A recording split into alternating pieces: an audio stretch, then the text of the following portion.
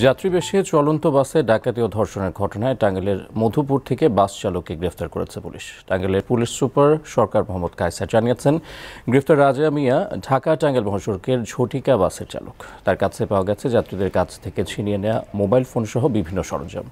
রাজা মিয়া টাঙ্গাইল শহরের নতুন বাসস্ট্যান্ড এলাকায় ভাড়া বাসায় থাকেন।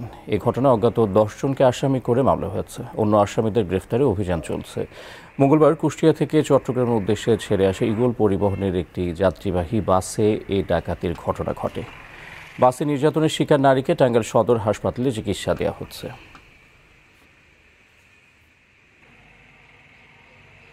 হাইওয়ের বেশ কয়েকটি জায়গায় আপনার সিসি ক্যামেরা রয়েছে।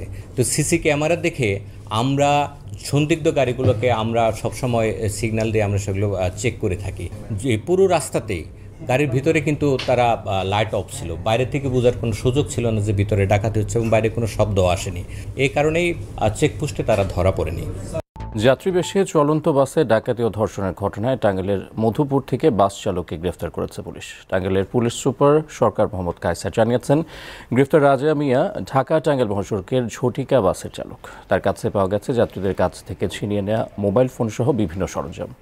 রাজা মিয়া টাঙ্গাইল শহরের নতুন বাসস্ট্যান্ড এলাকায় ভাড়া বাসায় থাকেন। এই ঘটনায় অজ্ঞাত দশজনকে আসামি করে মামলা হয়েছে। অন্য আসামিদের গ্রেফতারে অভিযান চলছে।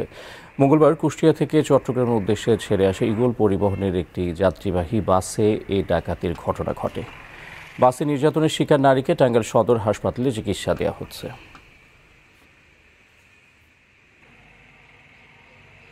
হাইওয়ের বেশ কয়েকটি জায়গায় আপনার যেন সিসি ক্যামেরা রয়েছে।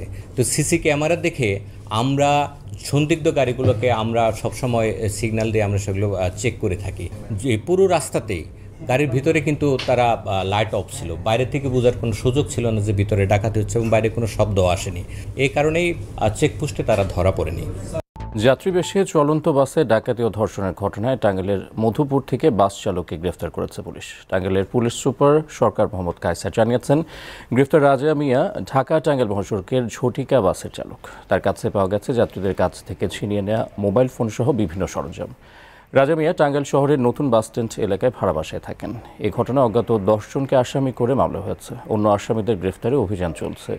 মঙ্গলবার কুষ্টিয়া থেকে চট্টগ্রামের উদ্দেশ্যে ছেড়ে আসে ইগল পরিবহনের একটি যাত্রীবাহী বাসে এই ডাকাতির ঘটনা ঘটে।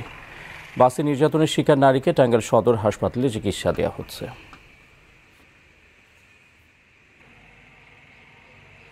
হাইওয়ের বেশ কয়েকটি জায়গায় আপনার সিসি ক্যামেরা রয়েছে। তো সিসি ক্যামেরা দেখে আমরা সন্দিগ্ধ গাড়িগুলোকে আমরা সবসময় সিগন্যাল দিয়ে আমরা সেগুলো চেক করে থাকি।